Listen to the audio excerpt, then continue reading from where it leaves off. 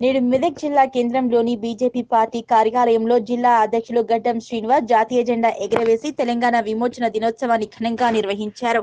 ఈ సందర్భంగా జిల్లా అధ్యక్షులు గడ్డం శ్రీనివాస్ మాట్లాడుతూ సీఎం కేసీఆర్ గద్దని ఎక్కక ముందు తెలంగాణ విమోచన దినోత్సవాన్ని కర్ణాటక మహారాష్ట్రలో అధికారికంగా జరుగుతున్నాయి.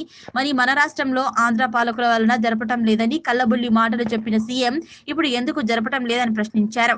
కుటుంబ ఆర్థిక అభివృద్ధి కోసమే సీఎం పాకులాడుతున్నారని అన్నారు. ఈ కార్యక్రమం కార్యక్రమంలో మాజీ ఎమ్మెల్యే బీజేపీ అధికార ప్రతినిధి శశిధర్ రెడ్డి పట్టణ అధ్యక్షులు గుండు మల్లేశం జిల్లా ప్రధాన కార్యదర్శి విజయ్ కుమార్ సుధాకర్ రెడ్డి బెండా వీణప్రియ సందీప్ రమహకాంత్ మల్లప్ప నరసింహులు తదితరులు పాల్గొన్నారు.